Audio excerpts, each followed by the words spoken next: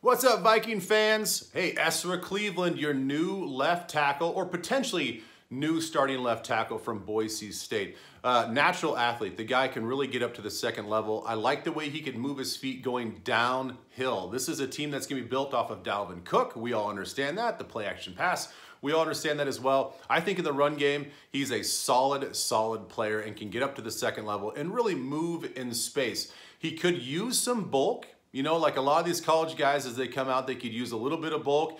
Uh, I don't know if he's going to be a day one starter, but listen, man, you need to create competition. You, you found a way to get this offensive line better in the second round, and I believe they got the right guy in Ezra Cleveland from Boise State, a three-year starter, played a lot of football, dealt with a little bit of a turf toe injury last year, but Everything is good. He's all good. No big medicals to worry about with Ezra Cleveland. So Ezra Cleveland from Boise State, welcome to the Vikings and Viking fans. You should be happy with this pick.